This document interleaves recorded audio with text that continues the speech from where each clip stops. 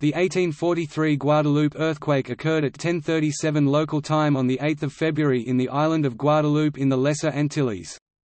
It had an estimated magnitude scale unspecified of 8.5, making it the strongest recorded earthquake in the Caribbean and a maximum perceived intensity of shaking of IX on the Mercalli intensity scale. The earthquake was felt widely throughout the Caribbean and as far away as New York. Around 1,500 to 5,000 people were killed.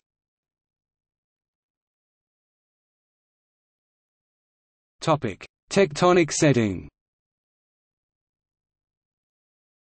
The Lesser Antilles are an island arc formed above the destructive plate boundary where the North American plate is being subducted beneath the Caribbean plate at a rate of about 2 cm per year.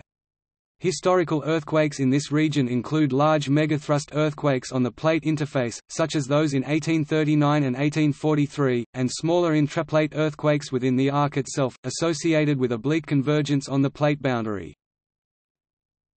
Topic earthquake The magnitude of the earthquake was calculated in the range 7.5 to 8.0 by Bernard and Lambert in 1988. This was reassessed in 2011 by Feuillet and others, giving an 8.5 magnitude. Later work by Hough in 2013, taking account of reports of the earthquake from the U.S., supported a magnitude of at least 8.5 for this event.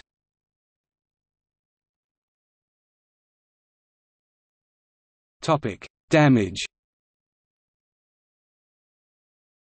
On Guadeloupe, Pointe-à-Pitre suffered severe damage with a maximum of 8 to 900 houses being destroyed of the 1,222 that existed before the earthquake.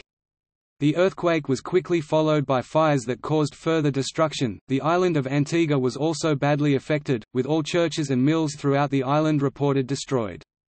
Forty deaths were reported. Damage was also reported from Montserrat, with six casualties.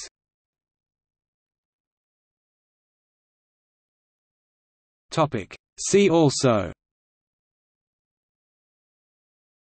List of historical earthquakes List of earthquakes in the Caribbean